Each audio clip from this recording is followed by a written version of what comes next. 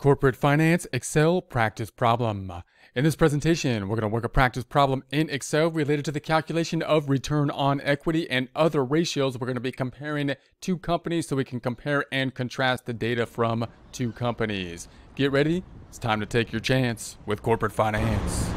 Here we are in Excel. We have our information on the left-hand side. We're going to put that into the blue area into our worksheet on the right-hand side. So the information is going to include two different company data, A and B, so we could do some comparison between the two. We have the net income, sales, total assets, total debt, stockholders' equity, and then we're going to calculate the return on stockholders' equity, and then we'll calculate the net income to sales, net income to total assets, sales to total assets, and debt to total assets.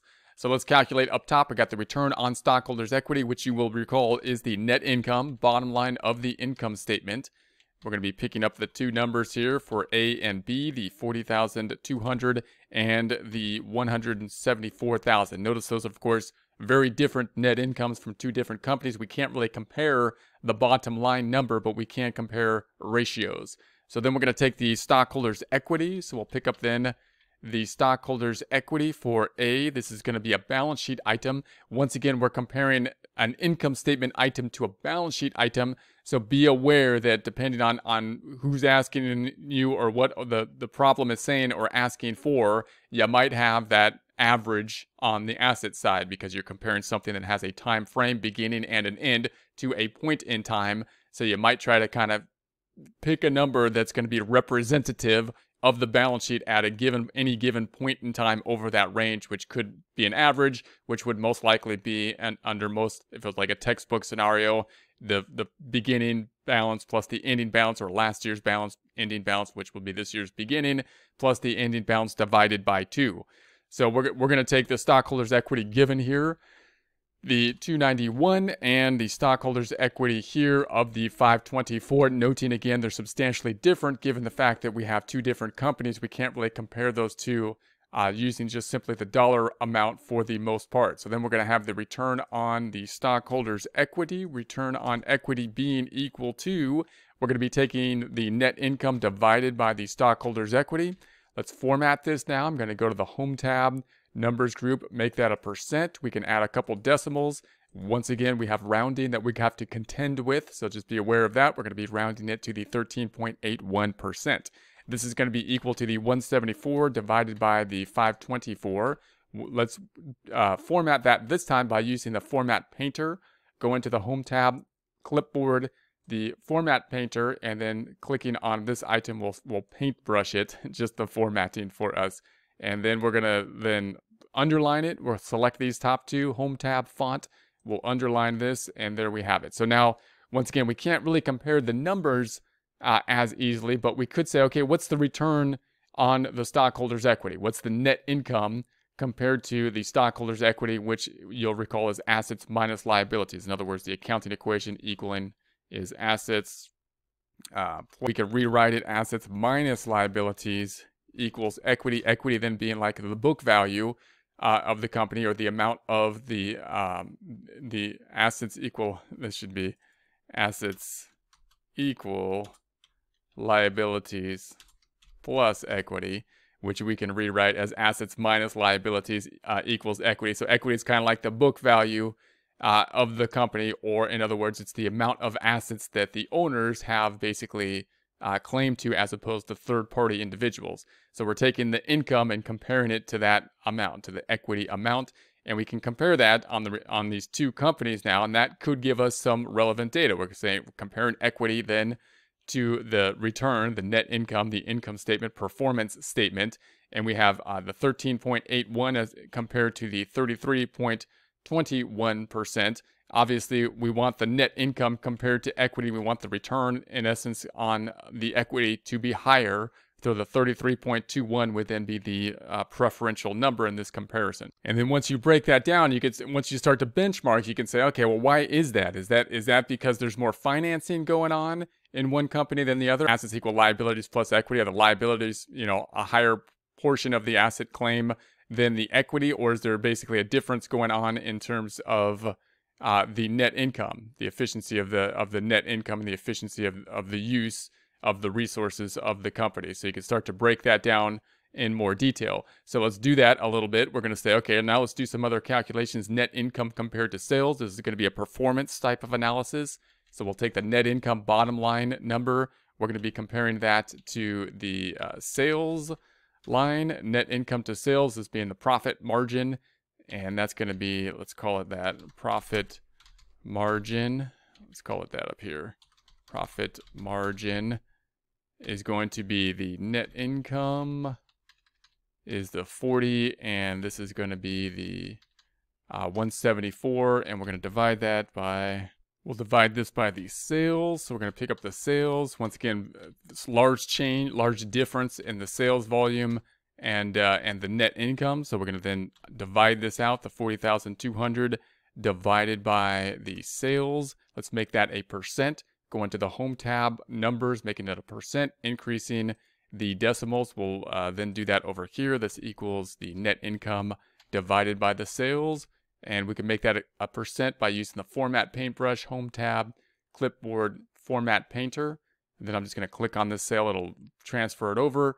We're going to then put the underline, Home tab, font, and put the underline here. So now we're looking at the at the net income bottom line and comparing it uh, to the sales. So in other in other words, the uh, company A is keeping uh, 11, 11 cents about 11.32 cents on every dollar, where company B is keeping uh, 8.23 cents. So company on every dollar. So company A is looking better on the profit margin, even though they're looking worse when comparing when taking a look at the return on the stockholders' equity. So then we're starting to lean towards, well, maybe this is a debt kind of issue. Maybe the, the liability is the thing that's making this worse up top. So let's keep working. Now we're going to compare the net income to total assets. So we'll take the net income here. Uh, once again, net income, income statement bottom line number, comparing it to the total assets number. That's going to be a balance sheet number. So, and, and when you compare the net income to the total assets, which you could say is going to be the return on assets, and let's actually label that here, return on assets, so we can recognize that. Return on, uh, say return on assets. And then we're going to pick up the net income, which is going to be the net income. And we'll pick up the total assets. So total assets, uh, remembering that total assets, you're comparing an income account uh, to a balance sheet account, and therefore the balance sheet account, depending on where you're working with, could have that average again, average beginning and ending divided by two. So we're given the asset account here, so we're just going to pick up the asset account.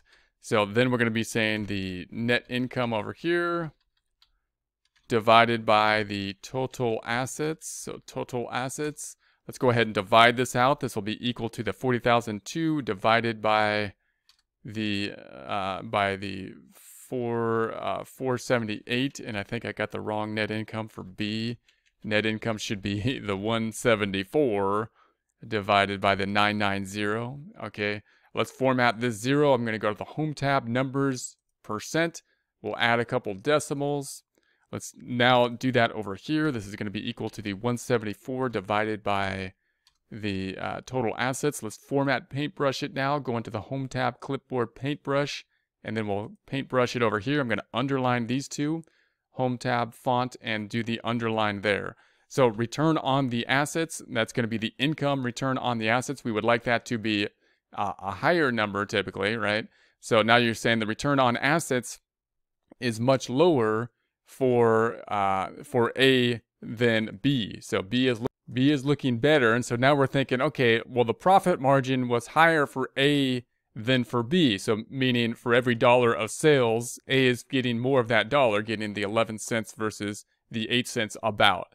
Uh, but it looks like the return on assets is better for B, which could mean that their sales volume, the number of units that they're selling, if they if they sell units, they're making more sales in general. So they're turning they're they're making more sales, even though their profit margin is is lower, is what that could be telling us. Then we're going to be taking a look at sales compared to the total assets. So let's take a look at sales. Uh, sales compared to total assets. So sales to total which we can also call the total, the asset turnover. So asset turnover. And then note that the asset turnover, once again, we're comparing something on the income statements to something that's on the balance sheet. So the, the denominator, you could think of this ratio as being having something that will be kind of like a an average beginning and end divided by two. So we're going to take the, the total assets here. So we're going to say, all right, the sales, sales, we're going to pick up here divided by the total assets, the total assets, and then we'll say sales here divided by the uh, total assets. and then we'll divide that out. This is going to be equal to the 355 divided by the uh, 478. Let's add some decimals here. So we're going to go up to the Home tab. We're going to go to the Numbers group. We're going to add decimals. This is usually represented in times. So how efficiently the, the asset turnover, how efficiently we're using our assets in order to generate the goal of the company, revenue generation. So why do we have assets? Why do we have the assets? In order to help generate revenue. So we're trying to measure how efficiently we're using those assets. So then we're going to do the same thing over here. This is going to be equal to this number divided sales divided by the total assets. Let's then format paint by clicking on this cell, go into the home tab, and then clipboard format painter, and then clicking on B. So now we have uh, the 0.74 and the 2.14. So if we look at, at the comparison of the assets, how well we are using assets, the larger number is going to be the better uh, number typically here. So the 2.14 means that company B is using their assets much more efficiently than uh, company A. So, so although again, company A has a higher profit margin, they have uh, it looks like they have less efficiency with their sales. They're not making the sales They're not making as good use of their assets. They're not having as high of a uh, asset turnover. Then let's take a look at the debt to asset ratio. So we're going to say, all right, the debt that we have, we're going to say is going to be the liabilities. So we're going to say debt is going to be equal to the 188. This is going to be a liability on the balance sheet. We're talking debt divided by the assets, what we have. This is going to be the total assets. So we're going to be saying that that is going to be the 478, and this will be equal to then the 990. And this is going to give us the, let's say, debt to total assets ratio, which will be equal to the debt divided by the total assets. I'll make that then a percent. We're going to go home tab, numbers group, percent. Increase the decimals. I'm going to do that over here. Equals uh, the total debt divided by the total assets. I'll use the format painter, clicking on the percentage item, home tab, uh, then the clipboard the format painter, then clicking back over here to get uh, the 4838.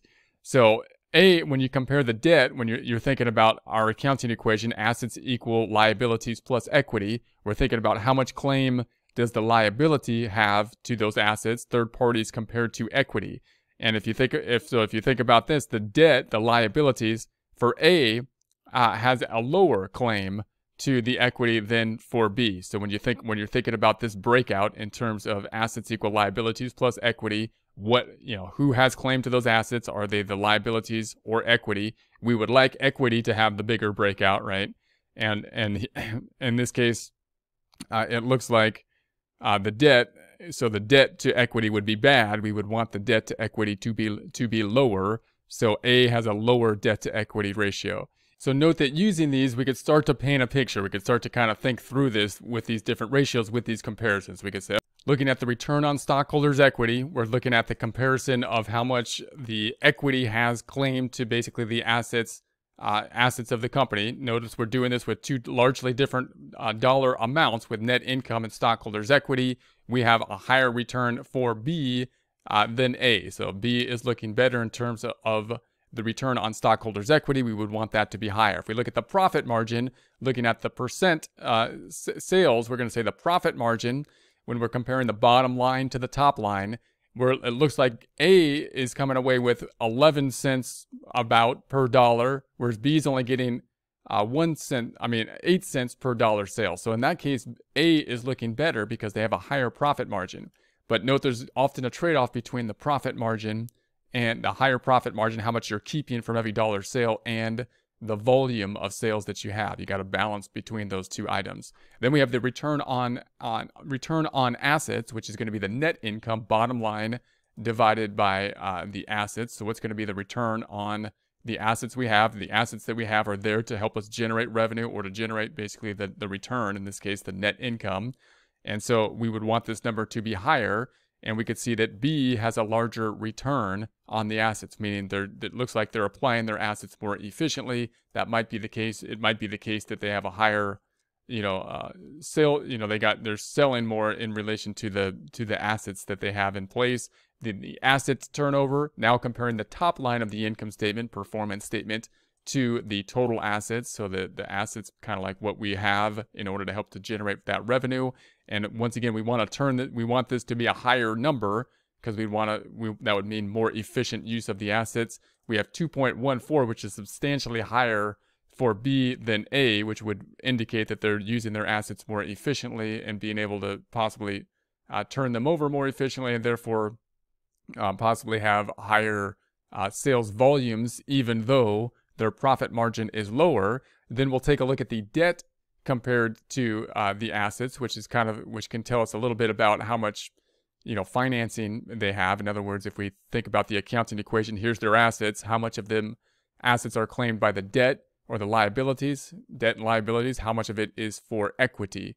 So we would like the debt so in this case, it looks like A is better here because they have uh, less debt as compared to the, the total assets than B. And if you think about that from the relationship up top, notice you have the return on stockholders' equity, which is equal, which is assets equal liabilities plus equity. Liability and equity representing who has claim, basically, to the assets. So when you're thinking about this, you're saying, okay, A is a lot lower than B here, but you also have to consider what the debt equity relationship is. So, in in other words, assets equal liabilities plus equity. If there's a lot, if there's more leverage in the company, if the liabilities are higher, then the equity, you know, will be a relatively lower number, and therefore, when you're comparing the liabilities to equity, that'll benefit the return on stockholders' equity calculation. So when you're so when you're considering this calculation, then you gotta say, okay, there's a substantial difference here.